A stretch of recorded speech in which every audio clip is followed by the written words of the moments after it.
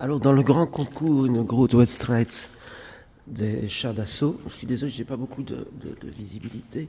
Ça, je n'avais jamais vu ça, mais là, pourtant, moi, je sais que je suis tout, je suis très Mercedes, j'ai une, une classe à couper. Eh bien, ça, je n'avais jamais vu ça. Je croyais que c'était une Porsche, c'est parti de l'arrière. C'est le QS, c'est le plus grand, donc, euh, ouais, pour monter dessus, il faut déjà être escaladeur. Vous montez, vous montez, vous montez, vous montez, comme ça.